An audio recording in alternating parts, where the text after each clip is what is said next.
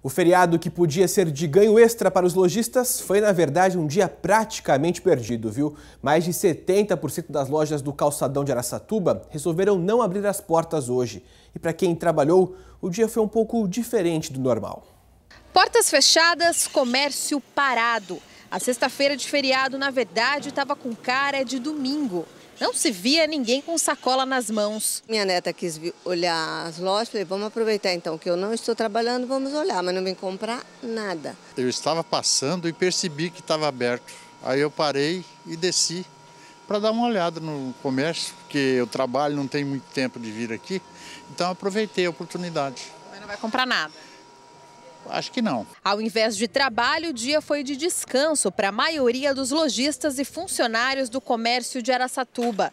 75% das lojas do calçadão resolveram não funcionar hoje. Desde quando começou essa onda da crise, os lojistas estão um pouco descrentes de abrir é, nessas datas é, que acaba sendo feriado. Sabendo que a gente tem luz para pagar, energia, boleto, fornecedores, um monte de coisas, mas a gente tem que ter um pouco de cautela.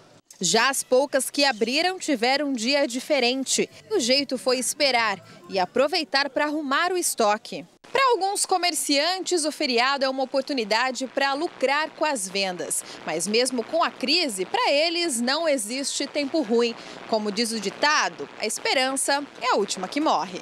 Pela crise que a gente está passando, o tempo que a gente está passando, a gente tem que inovar. E nós estamos aqui com promoções, abrindo, atraindo os clientes, é, fazendo propagandas para que a gente vai estar aberto nesse dia. Então nós temos que tentar nós mesmos melhorar o nosso movimento. Para o Claudinei, que é gerente dessa loja de utensílios domésticos, a data é como outra qualquer. Tem que arregaçar as mangas e ir em busca de lucro. A gente vê que é uma data bem próxima ao vale, né? O pessoal recebe o vale, então é, a expectativa é que a gente consiga com isso alavancar um pouco as vendas, né? Fazendo com que o nosso movimento seja maior.